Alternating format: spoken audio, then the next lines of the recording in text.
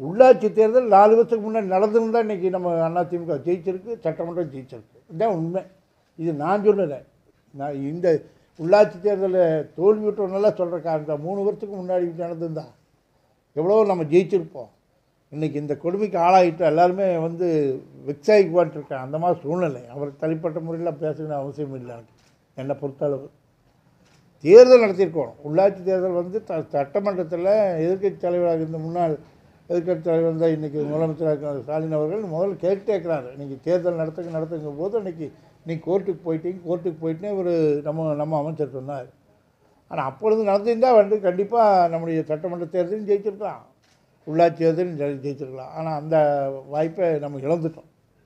இன்றைக்கி எவ்வளவோ வெக்ஸ் ஆகி உட்காந்துருக்காங்க எவ்வளோ நிறைய செலவு பண்ணியிருக்காங்க கை காசு செலவு பண்ணிவிட்டு எவ்வளவோ சிரமப்பட்டிருக்காங்க. மீண்டு வந்து அம்மா இருக்கிறதுனா நம்ம இந்த பேட்டி கொடுக்க வேண்டிய அவசியம் இல்லை. மீண்டும் நம்ம ஜெயிப்போன்ட்டு உட்காந்துப்போம் அம்மா இருக்கிறதோ தோல்வி விட்டோம் தொண்ணூற்றி ஆறில் ரொம்ப தோல்வி விட்டோம் அதில் மாற்றுக்கிறதே இல்லை. மீண்டும் அம்மா இருக்கும்போது மேலே வந்தோம்.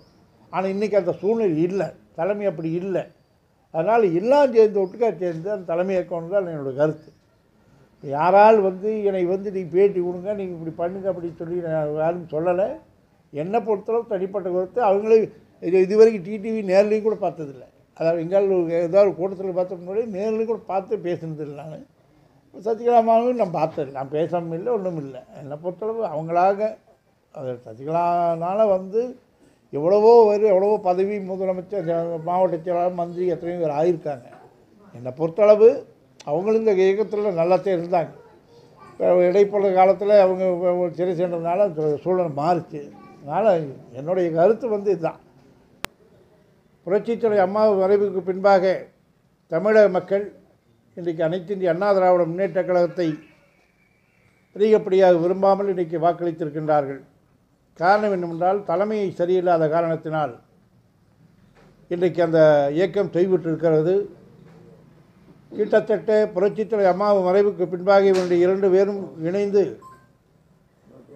கட்சி வழித்தடத்த நேரத்தில் நாலு வருஷத்துக்கு முன்னாக இந்த உள்ளாட்சி தேர்தலை நடத்தியிருந்தால் கண்டிப்பாக அனைத்து இந்திய அண்ணா திராவிட முன்னேற்ற கழகம் வெற்றி பெற்றிருக்கும் அதை விட்டுவிட்டோம். அந்த அடிப்படையில்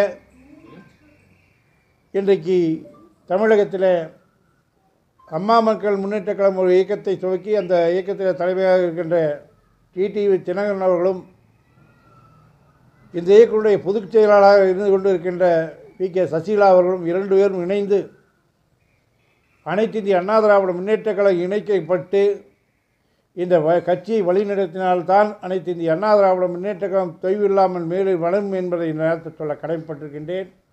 ஒரே தலைமை ஒரே தலைமையினால் அவங்களாக தலைமையாக்கணும் சசிகலாவாக இருக்கணும் தினகரனாக இருக்கணும். இல்லாட்டி இவங்க தலைமையில் பண்ண முடியாது. வளர வாய்ப்பு இல்லை. அந்த அடிப்படையில் எல்லாம் ஒன்றா சேர்ந்து இருந்தால் கண்டிப்பாக வெற்றி வரும் அதில் மாற்றுக்கருத்தே இல்லை. இன்றைக்கிக்க தொய்விட்டுருக்காங்க. எல்லா தொடரும் தொய்விட்டுருக்காங்க. இந்த எல்லா பக்கமே தமிழ்நாடு முழுக்க தோற்றுருக்குது அது தோற்றதுக்கு காரணம் வந்து நம்ம தனித்தனியாக இருந்ததுனால. கண்டிப்பாக ஒன்றா இருந்திருந்தால் கண்டிப்பாக வெற்றி வாய்ப்பு அதிகமாக இருக்குது போன சட்டமன்ற தேர்தலையே வந்து தென் மாவட்டத்தில் ஓட்டு நம்மளுக்கு கிடைக்கல. அதிமுக கிடைக்கல. கொங்கு மண்டலம் மட்டும் கிடைச்சிது. இன்றைக்கி கொங்கு மண்டலமே இல்லாமல் போச்சு. இன்றைக்கி கொங்கு மண்டலத்திலே வந்து உங்களுக்கு நிறையா வந்து உள்ளாட்சியில் ஜெயிச்சிருக்காங்க. அவங்களுக்கு வந்து ஜெயிக்கிறதுக்காக நமக்கு எதுவும் சொல்ல முடியும். நம்ம பிரிஞ்சிருந்தனால அவங்க ஜெயிச்சிருக்காங்க அவ்வளோதான் வேறு ஒன்றும் இல்லை.